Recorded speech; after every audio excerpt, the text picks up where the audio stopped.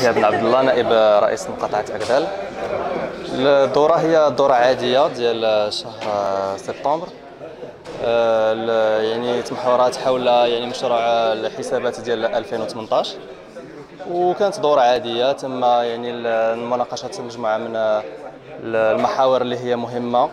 المستشارين أيضا أعطوا الرأي ديالهم في مجموعة ديال القضايا اللي هي مهمة بالنسبة لمقاطعة أكدال أيضا كان هناك تدخل لممثل آه، ديال وزارة التربية الوطنية.